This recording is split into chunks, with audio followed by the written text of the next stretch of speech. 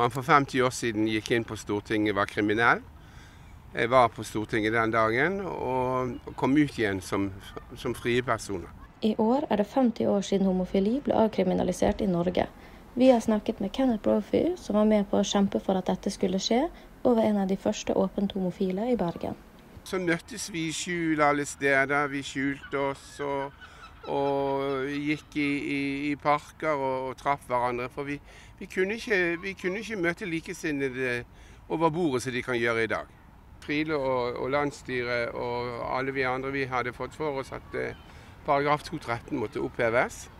Og det ble en veldig jobb. Og vi fikk med oss de som tørte, og vi vi, vi klarte å, å, spre informasjon rundt om. Til å begynne med var det veldig mye negative.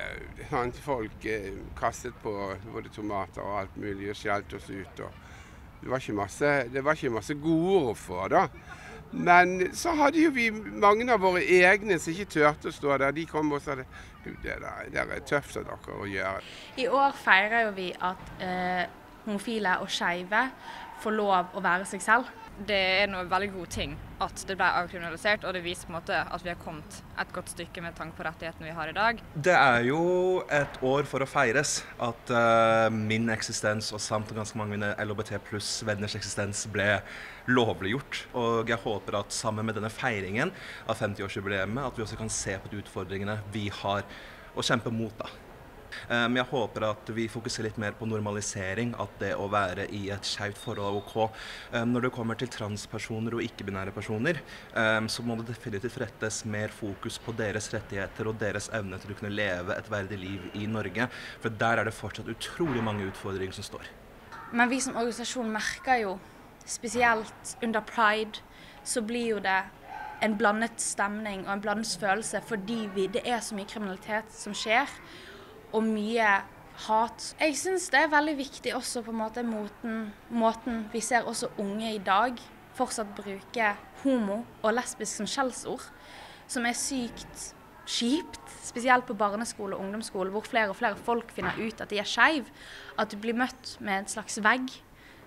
Akkurat nå så kjemper vi mye for eh, transpersoner og ikke-binære. Det er en gruppe innenfor det skeive miljøet som er veldig utsatt for både hatprat, kriminalitet. Det blir ikke lært om oss så mye. Vi har ikke like mye representasjon i bøker, i media, filmer. Det blir på en måte ikke like mye snakk om. Det er ikke like mye vold og trakassering som før, men det kan være mer små ting som utstenging og mobbing. Fremdeles har vi mye ugjort, og informasjon er veldig viktig i det samarbeidet. Meld dere inn i FRI, støtt oss, og vær med og, og, og, og kjemp for, for saken. Du trenger ikke å være skeiv for å være med, du må bare være med og støtte oss.